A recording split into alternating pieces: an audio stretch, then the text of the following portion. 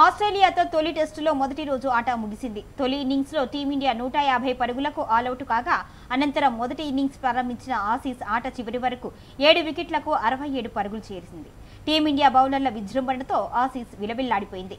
ఏ దశలోనూ Aussies batting కుదరక సాగలేదు. ముఖ్యంగా టీమిండియా తాత్కాలిక కెప్టెన్ జస్ప్రీత్ బూమ్రా బౌలింగ్ దాడులకు నాయకత్వం వహించి కంగారు టాప్ ఆర్డర్ను కాకాబికలం చేశారు. బూమ్రా నాలుగు వికెట్లో ఆదిత్య జట్టును వెన్నువిరిచారు. బూమ్రా విరిచిన బుల్లెట్ల బంతులకు ఆస్ట్రేలియా వద్ద సమాధానం లేకపోయింది. మరో ఎండ్లో మహమ్మద్ సిరాజ్ కూడా రెండు వికెట్లు పరుగెట్టి ఆసీస్ను దెబ్బతీశాడు. కొత్త కుర్రాడు హర్షిత్ రాణాకు ఒక వికెట్ దక్కింది. టీమిండియా తొలి ఇన్నింగ్స్ స్కోర్కు ఆస్ట్రేలియా ఇంకా ఎనభై మూడు పరుగులు వెనుకబడి ఉంది.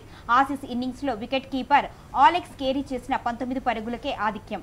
కేరీ ఇంకా క్రీజులో ఉన్నాడు. అతనికి జోడిగా మిచెల్ స్టాకర్ ఆరు పరుగులతో ఆడుతున్నాడు.